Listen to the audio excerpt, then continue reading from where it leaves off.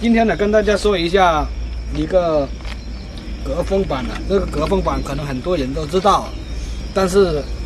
可能有些人呢就不会怎么样的灵活去运用啊，就像这个啊，这个就是隔风板了。我们一般呢，隔风板的作用就是在天冷的时候就用了，因为这边加一一块隔风板嘛，它的空间就变小了，啊，这个温度啊就比会比较高一点，就会比较暖一点了，这是一个原因呢。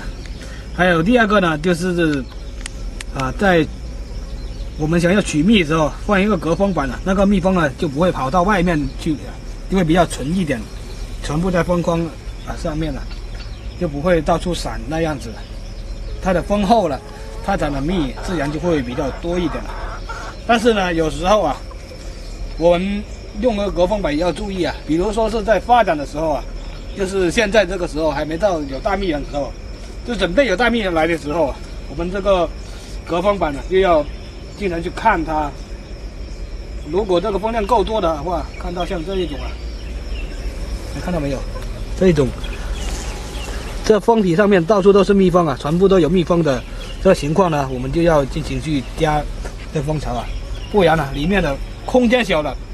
你拿这个隔板隔住它，它就没有地方去建巢啊，这样子呢，它就比较容易产生这个分蜂的孽巢啊，就会 起王台就会分蜂啊。当然，如果大家啊想要去分蜂的，也可以用这个隔分板隔好，不过呢，我们就要经常去看它。检查它是不是有起王台啊？不然呢，这样子就很容易引起这个蜜蜂逃跑了，然后就白白损失一群这个蜜蜂的这个现象。